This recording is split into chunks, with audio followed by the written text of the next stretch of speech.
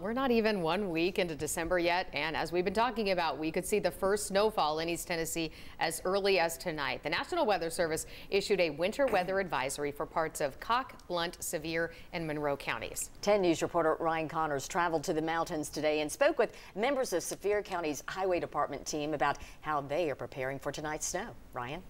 Brittany Robin, Sevier County says that this year's First snow is a little bit earlier than usual, but are ready to make sure that the night snow doesn't turn into an icy and dangerous situation. On nights when some flurries are expected, there's crews preparing for their big moment.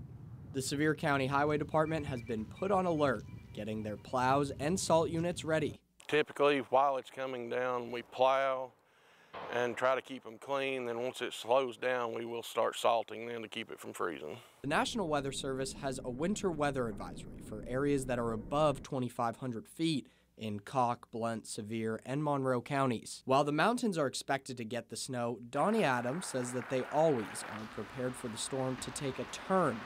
And we have had several occasions where places like Seymour and stuff get more than the mountains get. It just really depends on how the it comes through.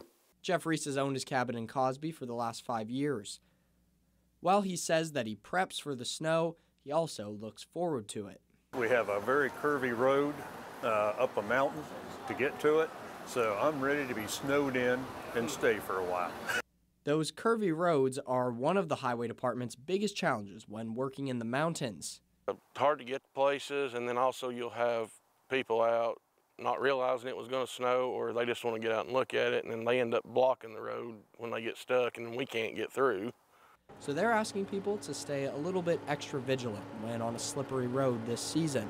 Yeah, if you see one of our trucks on the road, just please give them plenty of room. Uh, they can't stop because obviously they're a lot bigger and plus it's slick. Now, this, the 2,500 tons of salt that the county has ready only ran out once. It was back in 2012. Adams told me that they had 30 consecutive days of salting roads. They're hoping this year is not that busy, guys. that is a stretch for sure. All right, Ryan, thank you. And you can